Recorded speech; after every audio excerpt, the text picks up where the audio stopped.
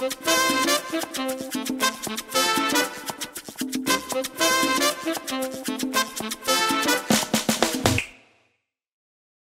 amigos, bienvenidos a mi canal, soy Rocío. Si eres nuevo a mi canal, muchísimas gracias por visitarme desde ya te invito a que le des like al video, te suscribas a mi canal y no te olvides de activar la campanita de notificaciones para que no te pierdas de nada. Hoy tenemos otro anuncio, publicidad cerveza Quilmes y esto es Himno, mayo 2002.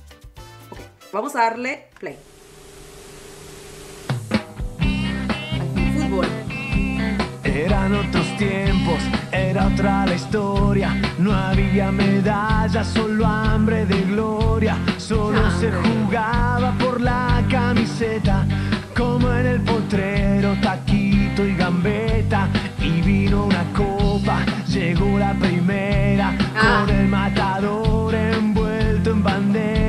La gente alentaba en cada partido, hubo un papelito por cada latido. Después vino el Diego y tocamos el cielo. Nos Ah. trajo la copa cumpliendo su sueño. Y cada garganta gritó en cada esquina. Es un sentimiento, vamos Argentina.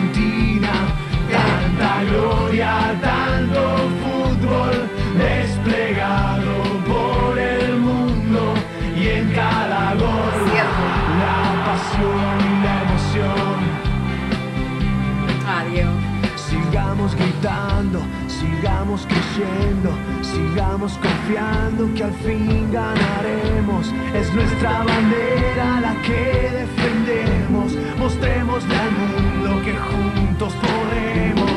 Tanta gloria, tanto fútbol desplegado por el mundo y en cada gol la pasión y la emoción.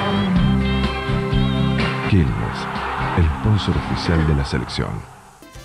Me encanta. Ok, vamos a pararlo ahí. Eh.